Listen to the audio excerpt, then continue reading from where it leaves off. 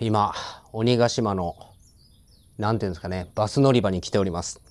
まあ、この女木島の、その大洞窟までバスで来るんですけど、帰り道を、えーまたバスで帰るという、その帰り道のバスが来るまで待つという、だいたい20分ぐらいですね。発車が20分後なので、まあ、それまでちょっとゆっくり、このバス停で待つという感じでございます。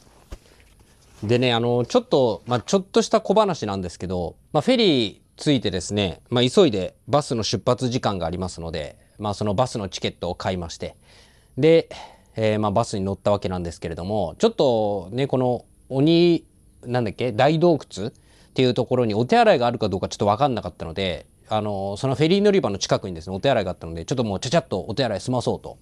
思ってですね、一旦こうバス乗り場からこうで入ろうとしたんですよ。そしたら、あれ？なんか開かね？えみたいな。なんかガチャガチャガチャって扉開かね？えみたいな。そしたら、中に外国の女の子がキャッキャしてるんですよ、中で。あれこれ女子トイレ？みたいな。え、でもなんか、なんだこれ？よくわかんないけど、女の子がこうキャッキャしてこっち見えてる。お手洗いの中が丸見えっておかしいじゃないですか。なんか変な感じだから、扉があるのにね。だから、なんかおかしいな、みたいな。そしたら、コンコンコンって言って、外国の、まあ多分ご家族なんでしょうね。その女の子のお父さんかなんかが、No, no, no, no, this way, this way とか言って、from inside とかって言ってさ、どういうこと？みたいな。あの、要は、建物の中から、あの、お手洗いに行けると。で、そこのお手洗いに通じてる道は、外から扉があるんだけれども、何かの理由でそこが閉じられてるんですよ。で、開かずの間なんです。だから This way, hey とか言って、すげえめっちゃ笑顔で、hey とか言って、俺の窓越しに、って、だから声は聞こえない声は聞こえないけど、ってやっててさ、なんか俺、思わず笑っちゃってさ、なんか、で、それで、あの、中に入ったらさ、そのおっちゃんがさ、こうやってやってて、俺の、俺のこと、で、別にお手洗い行きたいだけなのに、こっちから来て、こうやってやってたからさ、なんか、Thank you とか言って。なんか思わず 思わずほっこりした瞬間でございました。いやでもバスまさかね。で、それでこうバスお手洗い用を済まして、で、バスもうちょっとで発車するから乗っててくださいって言われて。で、バスに乗ったんですよ。もうバスもさ、なんかすごい昔のプールのバスみたいな。なんかわかるかな？ちょっと昔乗ってたプールバスみたいな感じなんですよ。すごい、ちょっとなんかこう20人ぐらい乗れるかわかんないマイクロバスみたいな感じで乗って。で、なんか、誰も乗ってないんですよ。で、運転手もいなくて。で、扉だけ開けっぱなしになってて、なんかこの感じ嫌だな、みたいな。で、中入って。そしたら、その、バスが、もう、電、もう、いや、入ってないんですよ。だから、クーラーも何にも効いてなくて、なんかちょっと蒸してるな、みたいな。なんか、気持ち悪い空気感。その、なんだろう、雰囲気じゃなくて、気持ち悪い空気感なんだよ。すごい。だから、こう座ってて、なんかこう外を見てたらさ、さっきの外国人ファミリー、今度はお母さんもさ、なんか息子さんもいらっしゃって、で、そのね、4人家族かななんかそれで、へいとか言って、俺と目があってさ、はーいみたいな、はーいって言って、あ、お前たちも鬼の洞窟行くんかって思ってさ、そしたらさ、そのままこうバスを素通りしていって、なんか景色をこう自撮りでパシャパシャしまくっててさ、ね、子供たちをこう写真撮ったりとかしてて、で、そしたらもうなんかちょっとくたびれたおじいちゃんが出てきてさ、なんか傘持ってこう、タクタクタクタクタクタ歩いてて。で、こう、バスに乗り込んできたわけ。そしたら、俺、バス乗った瞬間に扉閉めて発車したのよ。おおおみたいな。俺だって、俺思わず、えって言って後ろ振り向いたんだから。え、いや、そんなおっちゃんが乗ってきて、うん、いきなり、みたいな。え、えって言って後ろ振り返ったら誰もいない。俺一人だけ。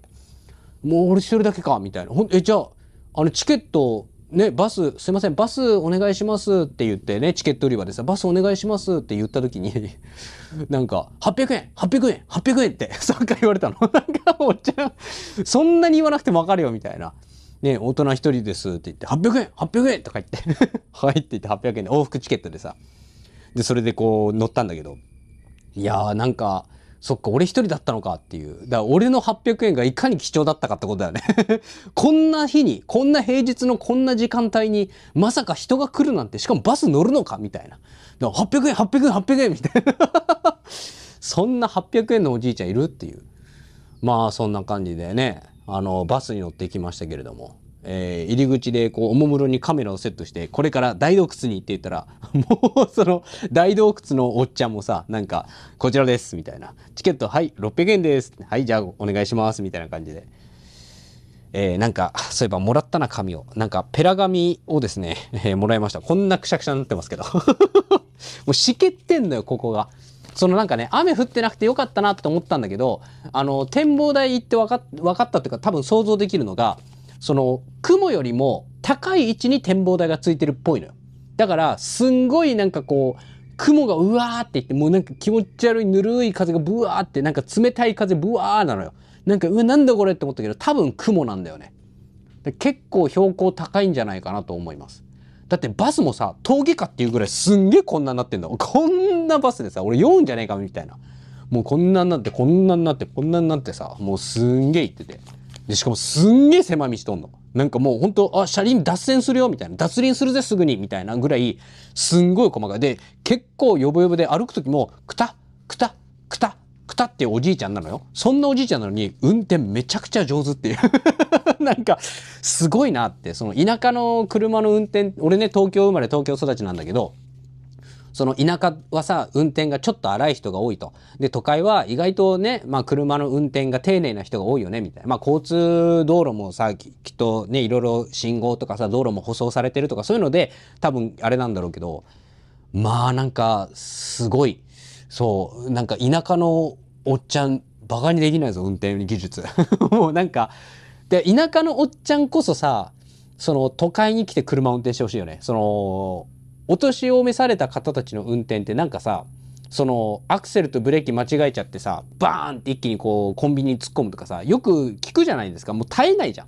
もうまた、またか、またか、みたいな。で、免許返納とかあるでしょ？みたいなね。あの、運転許可証に切り替えたら身分証として使えるし、更新費もかからないね。もうずっと永年無料でずっと使える、その、なんかね、運転許可証って、まあ、運転できないけれども、運転免許持ってましたよ。道路交通法の、なんだっけ？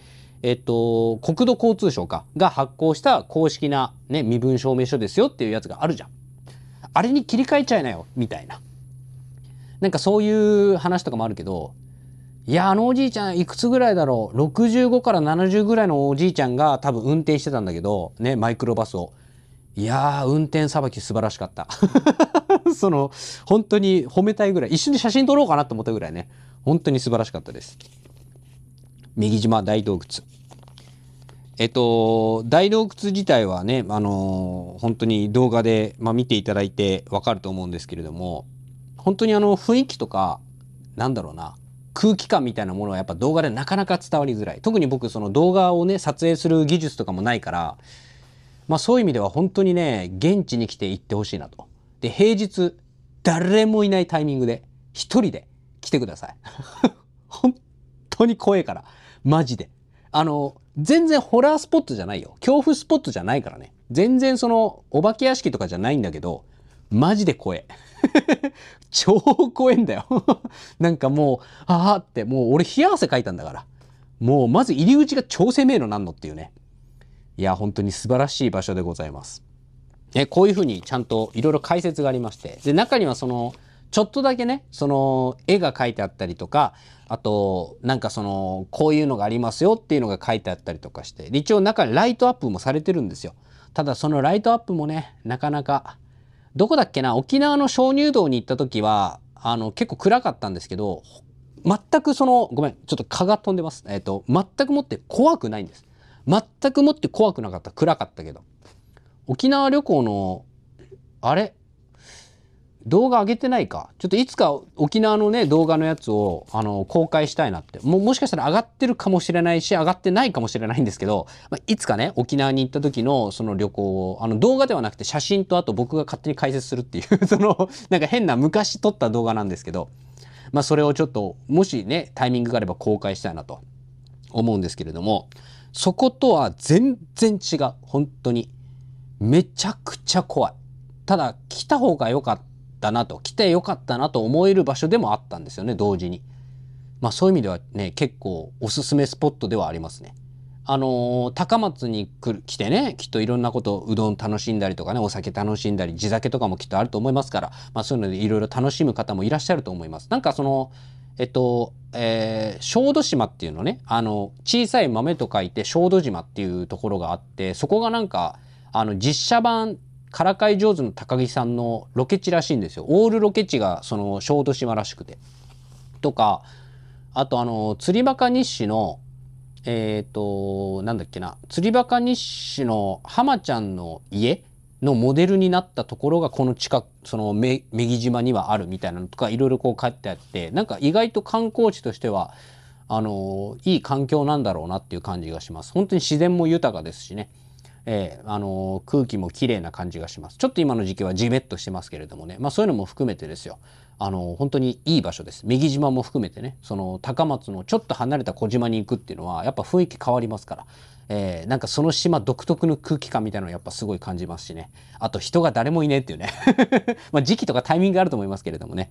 えー、で、本当にその鬼ヶ島、ね、女木島っていうところはいろんな意味でその何かを考えさせられるような場所でもあります。こういうふうなね、文章もありますから。えー、なんか本当にちゃんとね、資料として調べに行きたいっていう人にもおすすめな場所だなって思いました。えー、以上でございます。もうそろそろバスが来ると思いますんで、えー、ちょっと待ちたいと思います。ホテルにチェックインいたしました。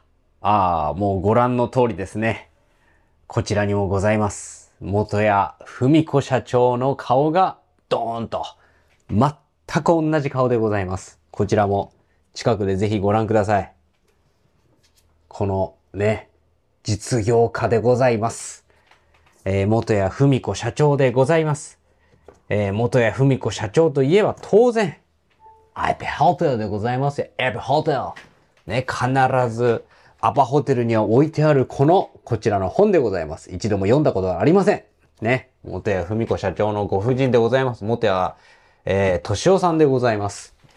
えー、まあそんなことはどうでもよくてですね、どうでもいいって言うとちょっと失礼かもしれませんけれども、それは置いといてですよ。私、これからお食事でございます。ででーん。こちら、袋がございます。ウーバーイーツで配達員の方が丁寧に迅速に送り届けていただきましたお食事でございます。こちらにございます。ででーん。ででででーん。一体お前は何を注文したんだいというところでございます。まずはオープンして中を見ていただきましょう。これはこっちの向きでいいのかな？ちょっとわかりませんけれども。な、なんでこの紙袋がこう縦になってるんでしょうか？ちょっとそれも気になりますけれどもね。えー、私、旅行に来たら必ず一食は食べたいと思うものがございます。ちょ、ドリンクの横になってるじゃねえかよ。やっぱりこうだったよ。こうでよかった。なんかこう入ってんだよ。意味わかんねえなっていう。ででーん。コーラびっしょびしょでございます。びっしょびしょコーラでございます。この元谷文子社長のですね、えー、培ってきたこのホテルにはですね、便利なテッシューっていうものがございますので、このテッシューをですね、コースター代わりにちょっと引かせていただきます。もうこれほんとびっしょびしょですね、これね。いやー、ちょっとこれは、なんだろうな、さっきすごい、そこそこなチップを弾んだんですけれども、チップあげない方が良かったかな。ストローも入ってねえし。まあ、おい、まあ、それは置いといて、まあ、配達員の方も丁寧にいろいろとね、頑張ってくれたわけですから、ね、文句言うんじゃねえという話でございますよ。配達員の方もですね、大変なんですから。これは、コーラがどうこうじゃなくて、溢れちゃったのかな？あの、炭酸飲料だからね。うん。まあ、そこは多めに見ましょうよ。別にコーラが全てじゃないんだから。どうですか？僕は体健康ですよ。このね、コーラがこぼれたことによって僕は別に健康を害したわけではありません。全然大丈夫。しょうがないよ。ね、荷物ね、遠いところからわざわざ運んでくれたんだから。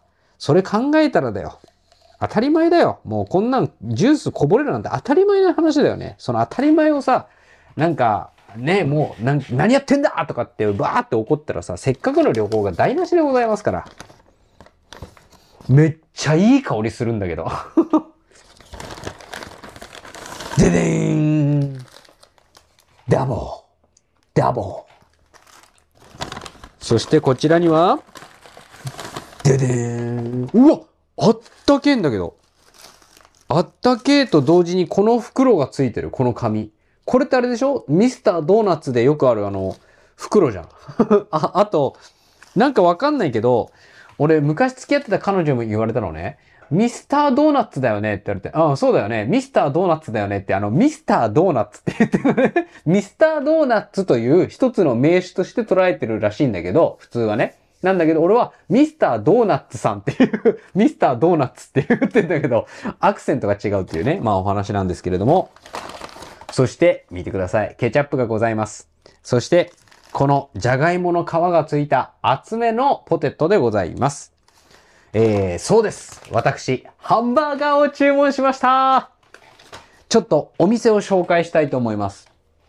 ウーバーイーツの履歴をちょっと確認しまして、えー、お店をちょっとご紹介いたします。えー、私が注文したのはですね、チーズネスバーガー夢タウン高松店でございます。えー、頼んだ商品はですね、え、っと、チェダーチーズバーガーダブルセットでございます。ダブルセットのダブル、一体何なんでしょうか？気になります。熱々の、てかさ、俺、ストロー入ってねえじゃん、マジで。ノーストローですか？おー、ノーストローですかこれはやってくれましたね。ノーストロー入ってるか？ストローが。もしかしてストロー入ってるか？いや、入ってないですね。ノー、ノーストローでフィニッシュです。ということで、えー、このドリンクは、えー、プラコップ、びしょびしょです。でもいいでしょう。まあまあまあいいでしょう。美味しい料理をね、熱々の状態で届けてくれたわけですから、いいですよ。ということで、ちょっとこれぐらいの角度がいいかな。うん、ちょっと映る？じゃあ、ふみこ社長が、ちょっと、ふみこ社長がちょっとですね、ちょっとですね、ここれで映りますかね映りましたね。ということで、いただきたいと思います。じゃあ、まずは、この、バーガーをですね、オープンしたいと思いますよ。いきますよ。見えますか？オープンナーンオープンナーンナーンナーンナーナーナーナーオープンナーンパッと見何にもわかんねえな。パッと見わかんなくない？これ。ちょっと偏ってんな。奥にずれ込んでますね。奥にずれこ、あ見えましたトメイトでございます。トメイト。で、イギリス英語だとトメロ、トメロでございます。えー、ネギが垂れております。こんなネギ垂れてる。ね。じゃあ早速、いただきます。チェダーチーズバーガーダブルセットでございます。バンズめっちゃずれ込んでるな。すごい。見て。漏れてる。漏れてます。いただきます。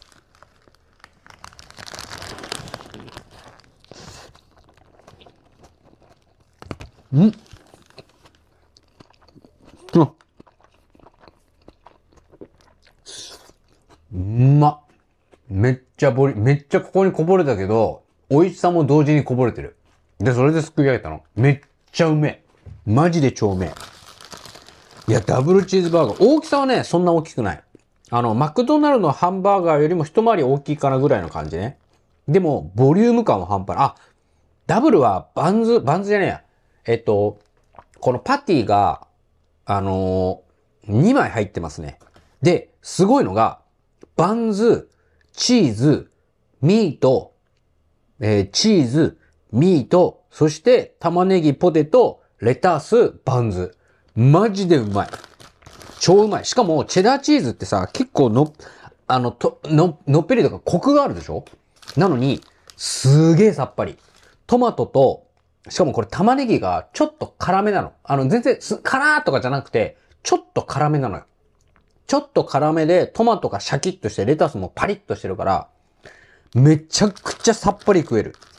ダブルチーズ、こんなにチーズドロッドロなのに、もうく、口の中でもぐもぐしたら、めちゃくちゃさっぱりしてる。超うめえ。うん。うん。あの、バンズにめっちゃ味が染み込んでんの。バンズ、下のバンズがめっちゃ柔らかい。なんだけど、中はさっぱりしてて、チーズのコクはちゃんと感じる。超うまい。超うまいよ。みんなが思ってるチーズバーガーとは全然違う、これ。ポテトもいただきましょうか。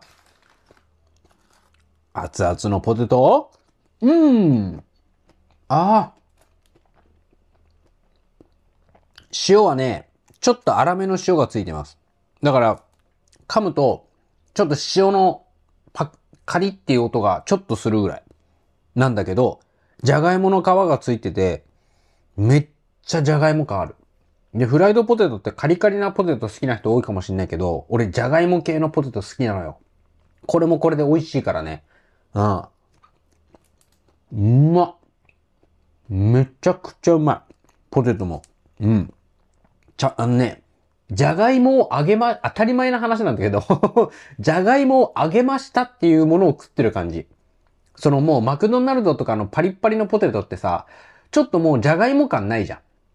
そのポテトだなって感じじゃん。じゃないの。もうなんかね、ポテトって感じなの。わかんねえな、この違いは。うん。この、量が減ったコーラを いただきます。うん。あの、ストローじゃないから氷も一緒にちょっと飲み込んじゃうんですけど、コーラはコーラで美味しいね。もうこの健康に悪そうな組み合わせの食事。めっちゃうまいぜ。うん。いや、あの、ダブルは良かった。あの、一応普通のシングルもあったんですよ。ね、バンズ、チーズ、パティ、で、あの、多分玉ねぎ、レタス、トマト、バンズっていうのも多分あったんで、あったんですよ。なんだけど、これバンズダブルにしたから、ボリューム感はやっぱこっちの方が圧倒的に大きい。パティ1枚加わるだけじゃなくて、そこにチーズが1回挟んでのだから、だからそのチーズとパティが1個増えてんのよ。めちゃくちゃうまい、マジで。もう口の中に入った瞬間に、パティの肉汁がブワーって広がる。で、チーズのコクブワーって。チェダーチーズだからそんなに濃厚かって言うとそこまでじゃない。でも、ちゃんとチーズバーガーはしてんのよ。うめえなうめえ。で、しかも、バンズがふわふわなのね。ふわふわのバンズなんだけど、それだと、なんかもさもさしちゃうじゃん。ね、柔らかいにパティもマニって感じでもさもさってじゃん。でも、中に、その玉ねぎ入ってんのよ。この玉ねぎがさっき言ったように、ちょっとね、あの、かた、辛めというか、ちょっとシャキッとしてるの。な、なんか、少し生っぽい。その完全に焼いてない。だから、もうその玉ねぎがシャキシャキしてんの。だ食感はちゃんとあんのよ。噛んだ時の美味しさがすごいの。俺、美味しさ、ね、料理を食べる時の美味しさって、味もそうなんだけど、それだけじゃなくて、食感と食べやすさ。この三つね。味、食感、食べやすさ。この三つが俺はぜ、俺の美味しいの、ね、その基準というか、そのバロメーターなのね。三角形のバロメーターで、味、食べやすさ、なんか、みたいなね、そういう感じなんだけど、まあ、うまい。その3つがちょうどよくね、バランスよく整ってこう作られてる料理だね。やっぱポテトこれが一番よな。まあこれが一番、うん、でも迷っちゃうな。マック系の、あのパリッパリのあの澱粉基質を全部取り除いた、あのー、ポテトも美味しいんだけど、やっぱこの、じゃがいもですよっていうのが、うまいね。ごちそうさまでございます。大満足でございます。めちゃくちゃうまかった。えー、このチーズバーガーはですね、チーズネスバーガー夢タウン高松店でございます。まあ、チェーン店なのかちょっとわかりませんけれどもね、東京では見かけたことのないハンバーガーショップでございました。ね、普段ね、マクドナルドとか、モスバーガーね、えー、バーガーキング、まあ、いろんなそのチェーン店、ロッテリアとかありますけれどもね、ハンバーガーのチェーン店をいつも楽しんでる方、ぜひね、たまにはこういうこう、ローカルなハンバーガーもぜひ美味しくいただいていただければと思います。